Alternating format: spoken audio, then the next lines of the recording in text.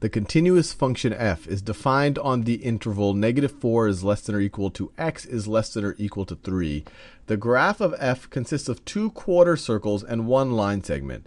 So this right here is one quarter circle, then we have another quarter circle, and then it has this line segment over here, as shown in the figure above. I put the figure on the side so that we have some screen real estate down here.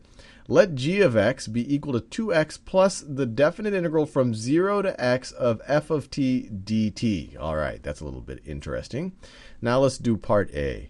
Part A, find g of negative 3. So we want to find g of negative 3. So first of all, they tell us what g of x is. So g of negative 3, every time we see an x, we just put a negative 3 there. So it's going to be 2 times negative 3, 2 times negative 3, plus the definite integral from 0 to negative 3 f of t f of t dt. So this first part is pretty straightforward. 2 times negative 3 is negative 6. And then this part right over here is the definite integral from 0 to negative 3 of f of t dt. So from 0 to negative 3 f of t dt. So this is essentially this is essentially the area under under f of t, or under f of x, if you want to view it that way, from 0 to 3. And this is pretty straightforward to figure out, but we have to be careful here. Because this area, this area right over here, this would be the integral, let me do this in a color that you can see.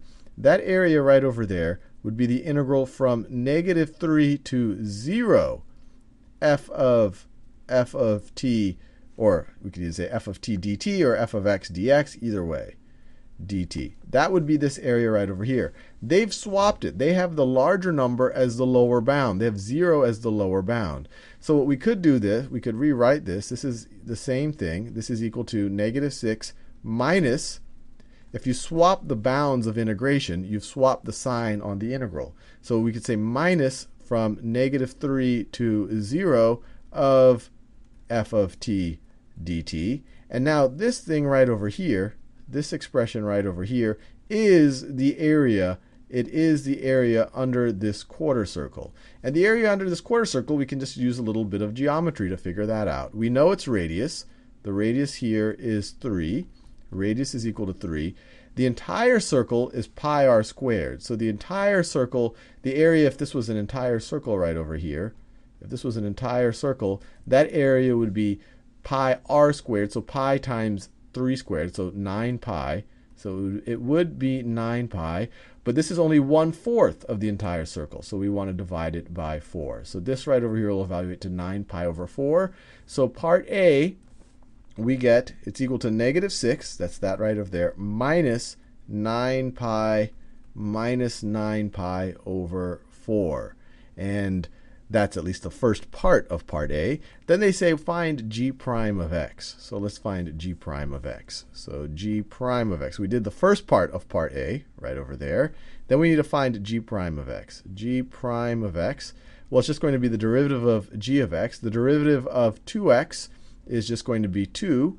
And then the derivative, and this is the fundamental theorem of calculus right over here, the derivative of the definite integral from 0 to x of f of t dt, that's just going to be f of x that is just going to be f of x. So that is g prime of x. We did this second part right over there. That is g prime of x.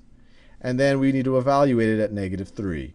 So g prime of negative 3, g prime of negative 3 is going to be equal to 2 plus f of negative 3, which is equal to 2 plus, and let's look at our, let's see what f of negative 3 is. This is our function definition. When x is equal to negative 3, our function is at 0. So f of negative 3 is just 0. So it's just 2 plus 0, which is equal to 2. So g of negative 3 is equal to 2. And we're done with part A. And the trickiest part of this is just realizing the bounds of integration that you might be tempted to say, oh, the integral between 0 and negative 3, that's just this area over here because we're going between 0 and negative 3. But you got to realize that we actually have to swap them and make them negative if you really want to consider this area right over here.